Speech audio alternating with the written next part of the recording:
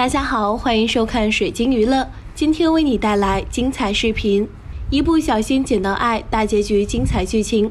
林月安心开始同居，林月有外遇，萧一山闹的乌龙。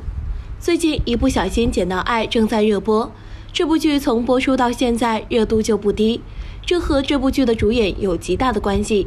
这部剧的剧情和同一时间播出的几部电视剧其中的其实差不多，都是甜宠剧。所以很多人都是冲着自己比较喜欢的演员去的。这部剧的主演就是前段时间在《长歌行》中饰演李乐嫣的公主大火的赵露思。说到赵露思，大家都应该不陌生，传闻中的陈芊芊就是她主演的，她也因为这部剧被大家熟知。而现在这部《一不小心捡到爱》就是她主演的。她出演的电视剧大多都是这种人设，所以在这种剧对于赵露思来说是没有什么难度的。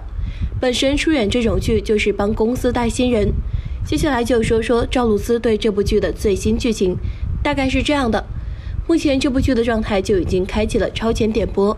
在前面的剧情中，顾安心因为顾欣儿的故意挑唆，本来不在乎自己和林月之间的差距，他因为顾安心的一番话和最近林月的绯闻，让自己倍感压力，于是就决定回老家给妈妈扫墓，顺便散散心，找找创作灵感。就在顾安心外出寻找灵感时，走着走着就来到了小时候被绑架的地方，一时间脑子混乱，想起了自己小时候的事情。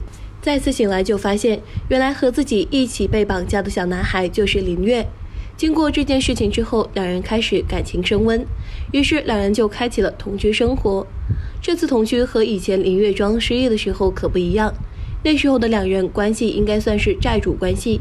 只不过两人在一起相处的日子里喜欢上了彼此，而现在两人则是正式开启了同居生活。不过住在一起自然会有很多问题出现。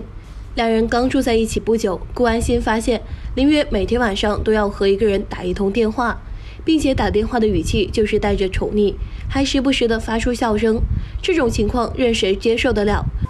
但是顾安心就碍于两人刚刚住在一起，还偷听别人讲电话，还说出来不好。就憋在了心里。不过情侣之间要是发现问题还不及时解决问题的话，只怕会更大。后面的顾安心依旧没有问林月关于电话的事情，而是自己半夜偷偷的用电脑查了林月学生时期的资料。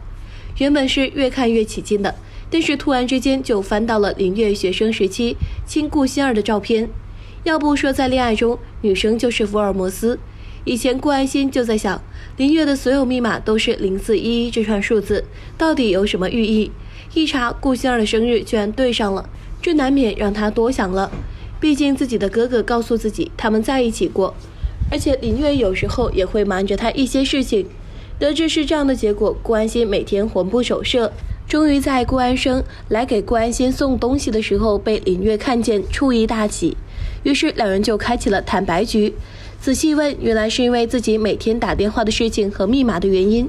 经过一番解释，才知道其实每天晚上都打电话，是因为肖一山和艾丽有了进一步的发展，向他请教如何追求艾丽，而自己一直笑也是因为嘲笑肖一山并不是宠溺。这个问题解决了，就还有关于林月所有的密码都是顾欣儿生日的事情。原来那个密码并不是顾欣儿的生日，而是上面说到两个人小时候就认识，一起被绑架的日子。那个时候两人就约定一定要找到彼此，所以林月就一直记在了心里，还将两人相遇的日子设成了密码。而现在的两个人也终于找到了彼此，还甜蜜的在一起。有时候就不得不感叹一下缘分的奇妙。